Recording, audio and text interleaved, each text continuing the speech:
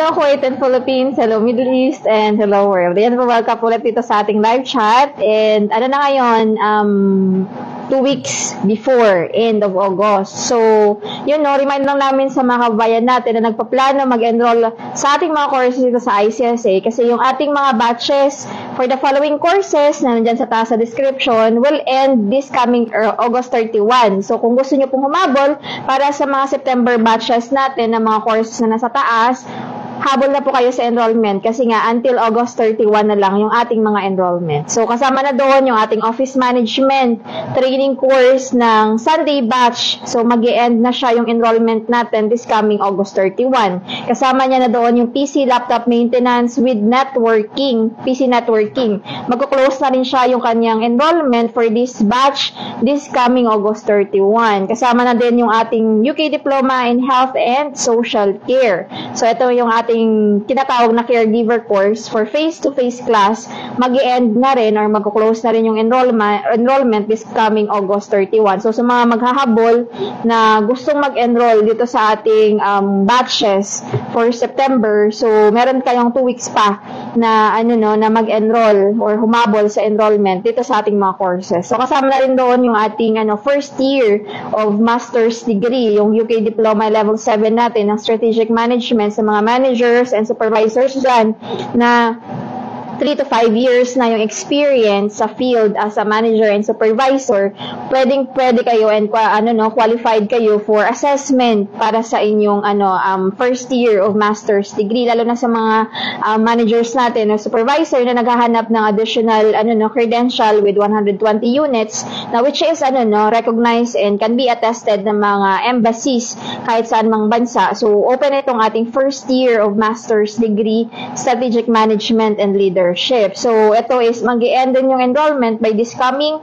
August 31. Kasama rin doon yung ating ano, online batch para sa ating UK Diploma in Health and Social Care. So, yun, yung mga kabayan natin na meron ng mga offers and target na mag-start this coming September. So, yung enrollment natin sa mga following courses na sa taas will end sa ano, will be closed sa August 31. So, kung gusto niyo humabol, pwede kayong humabol for these two weeks remaining ng August cost para sa enrollment natin. Okay, so sa mga ano pa, sa mga kababayan natin na gusto magkaroon ng idea kung paano yung ano no, yung pag-aaral sa UK diploma natin, lalo na dito sa in-demand course natin sa ngayon, yung Health and Social Care or tinatawag nating caregiver course. Pagkakaroon tayo ng orientation this coming August ano 27. Ano siya, Sunday at um, 12 p.m. So, kung gusto niyo mag-attend, available siya through online, live, interactive, ano siya, orientation through Zoom. So, this coming August 27, pwedeng pwede kayong mag-book, pwede kayong mag-message dito sa comment box below para mabigyan kayo ng details kung paano uh, mag-enroll dito sa mga following batches natin at mag-join dito sa ating orientation this coming August 27 at 12 p.m. Sunday yun siya ha. So, available kayo ng Sunday, gusto niyo magkaroon ng idea kung paano ba itong pag-aaral sa in-demand course natin ng UK Diploma in Health and Social Care. So, yun. Uh, message na kayo dito sa ating comment box below. Di kayo mag-message sa ating WhatsApp numbers plus 965-9930-2850 o di kaya sa plus 965-9767-4076 dito sa admin. So, kung may mga kaibigan kayo na gusto magkaroon ng idea at balak mag-enroll sa mga courses natin dito sa ano no sa mga batches na sa taas na ano no mag-close na this August 31 message lang kayo dito sa ating comment box below o di kaya sa ating mga WhatsApp numbers. Okay, so for those who are interested to enroll and catch up with the enrollment of the following courses on our description box sa taas, So, message lang kayo sa ating mga WhatsApp numbers, sa ating mga student consultants. You can send your message here in comment box below so that your our cons uh, student consultant will going to guide you and assist you on how to join or enroll in this um, following courses that we have on the top or in the description box. So, yan. Habol na kayo sa enrollment natin. Kasi nag-English ako minsan kasi may mga viewers tayo na ibang lahi na nagsasuggest na, ah, pwede bang mag-English kayo minsan kasi nga puro Tagalog na lang yung live update natin. So, yan. So, once again, we are inviting you for our incoming orientation for UK Diploma in Health and Social Care this coming August 27. And for those who are planning to enroll and join by this September, so the September batches of the following courses on the description box on the top will be closed on August 31. So you can um, still enroll for this coming two weeks and catch up with the enrollment. Okay, so yan sa ating mga kababayan din na may mga kaibigan na kakilala, it's either nasa Kuwait or kahit saan mang bansa and they are planning na mag-enroll sa mga isa sa mga courses natin sa taas, pwede mong i-share itong ating live update and live chat. So, kung meron kayong questions, so live, live up, ano siya, live chat siya, pwede kayong mag-message dito sa ating comment box below para masagot ko ngayon sa ating ano, um, chat, ano, live chat natin. Okay? So, huwag kayong mahiyang mag-message or magtawag sa ating mga WhatsApp numbers if ever meron kayong mga, ano no, yung mga suggestions or kailangan nyo ng, ano ng, tawag niyan, opinion, kung ano ba yung magandang course, ano ba yung mga re-recommend, ano ba yung mga in-demand sa ngayon, at ano ba yung mga course na makakatulong sa akin, if ever na meron akong application, going to other countries tulad ng Canada, Australia, New Zealand, or kahit saan mang bansa na kailangan ako ng 120 units.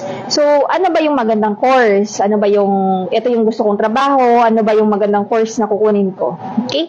So, yan si Ma'am JR or si Sir GR Villa Sabas. Kaya po ma'am, ano yung mga requirements? Sa lahat ng courses natin, yung initial requirements natin, is simple lang. Picture, um, booking form. Yung booking form, binibigay yan ng mga student consultants natin. Kasi lahat naman ngayon ng transaction natin is naka-electronic forms na or digital na. So, yun kailangan nyo nun. Picture, um, booking, and then yung inyong any valid ID kung outside Kuwait tayo. Kung nasa Kuwait naman kayo, kailangan natin ng civil ID copy ninyo, front and back. And then, nakadepende rin doon kung ano yung course na tung, um, kukunin ninyo. Pag diploma course, kailangan natin yung previous school credential ninyo. Yun naman is pwede namang to follow. Pero upon enrollment, yung tatlo lang yung kailangan natin. Picture, booking form or registration form, and then your valid ID or civil ID copy. Yun lang, tatlo lang, simple lang. So, and then, syempre, yung payment ninyo upon enrollment. So, yung payment, depende sa course kung ano yung iti-take natin. Okay? Kasi naka, depende siya or naka-vary siya kung anong klase yung course na iti-take natin. Meron tayong mga training courses, meron tayong diploma courses. So, depende. Depende kung anong course yung kukunin nyo, yung ating course fees. Itong course fees naman natin is naka ano naman siya, naka program or naka align naman siya depende sa ano no sa availability ng student kung kaya niya bang mag one time kaya niya bang mag uh, or kaya niya lang mag monthly installment nakadepende kasi si ICSA naman is um, in-adjust niya talaga yung package sa mga students natin kasi alam naman natin most of us is um, working students syempre nagsusupport din tayo financially sa ating mga family sa Pilipinas so talagang ginawa ni ICSA yung mga courses natin, lalo na sa UK Diploma, into more affordable sa ating mga kababayan. Okay?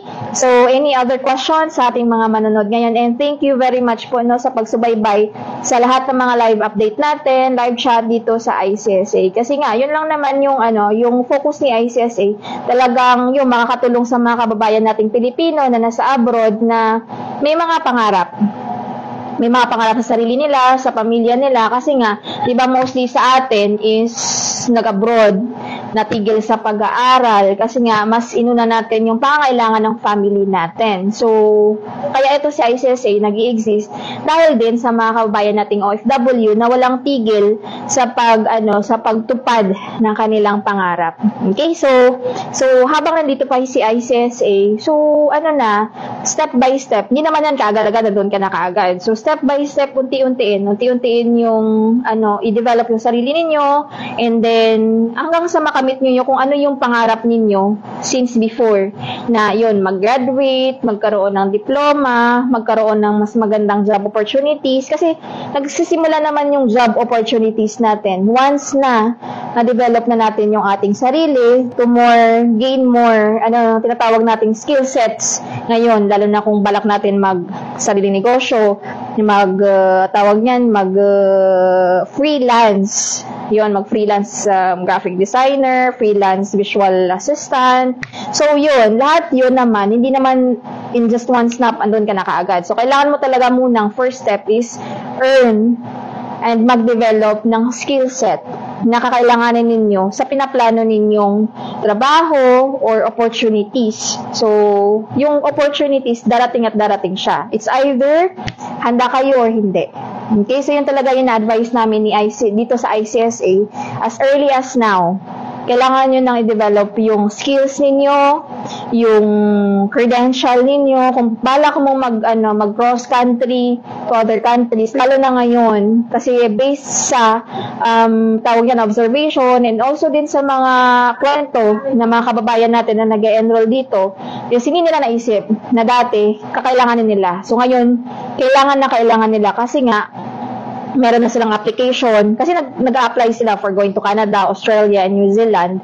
So, wait lang. Ma'am Rach, Andito kasi ako sa reception, so may mga bisita dumarating. So, yun no, sa mga kababayan natin na, yun, bigla-bigla lang meron silang mga offer na darating. So, kailangan, earlier as now, kailangan na nating maging prepared. Okay, kasi sa kanila nagmamadali kasi kailangan nila ng credential with 120 units. Kailangan nila ng ganitong skills. Kailangan marunong na silang gumamit ng computer. Lalo na ngayon, kasi nga, ano na, tawag niyan, um, naka-high-tech na sa ngayon, naka-computerize na tayo ngayon na generation.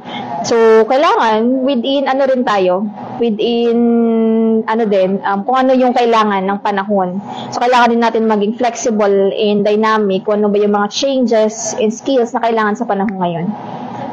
Um, ano pong magandang course na i-take, ma'am, sa mga gustong mag-cross country from Kuwait to Canada? So, mostly dito, based sa, ano, ha, sa kwento at saka requirements din na hinihingi ng mga agency sa ating mga students is kailangan si student meron silang, syempre, doon na yon kailangan marunong sila gumamit ng computer.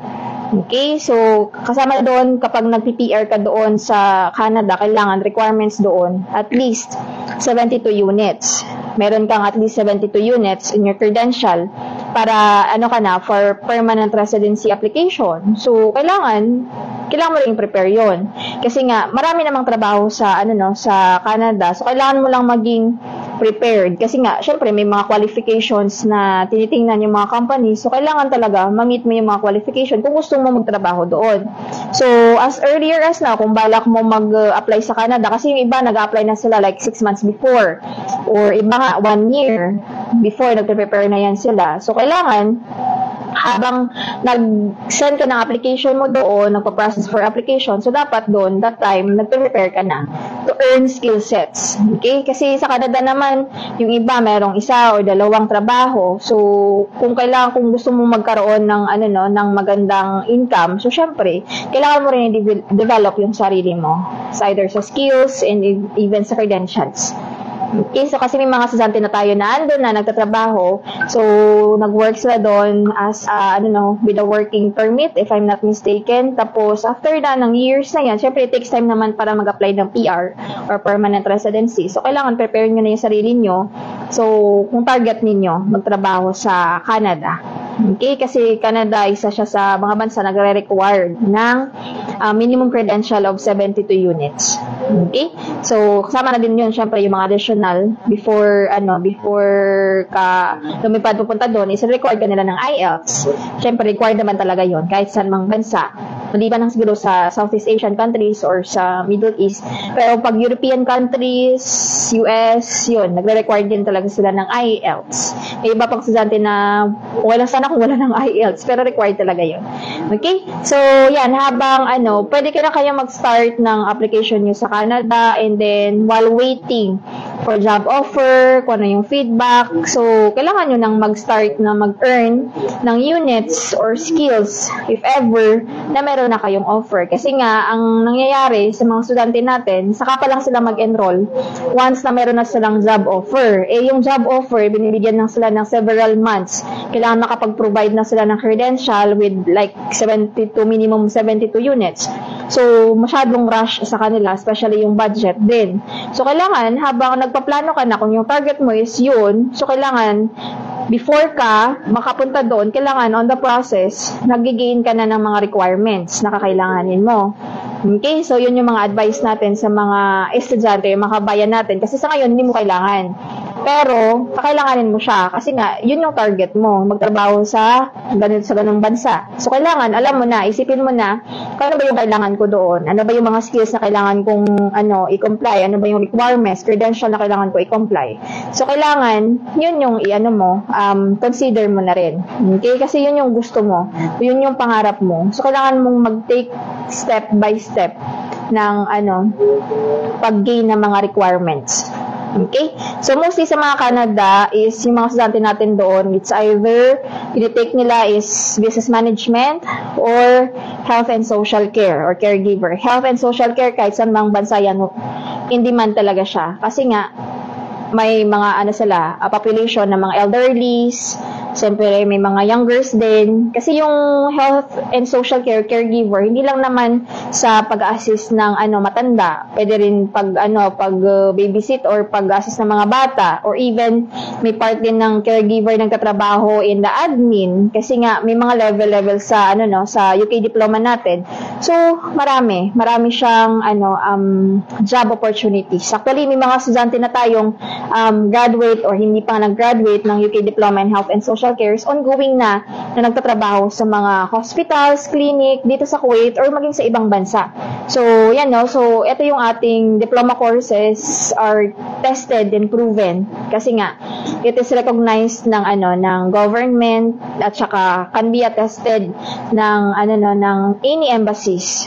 Okay? Kasi nga legal and legit siyang credential na magamit nyo for application and it is also recognized ng mga evaluating bodies around the globe. It's either sa ECA, sa WES, ICAS, or kahit saan mang iba na evaluating bodies. Okay? Kasi nga, yung credential niyo kapag UK diploma, it's internationally recognized.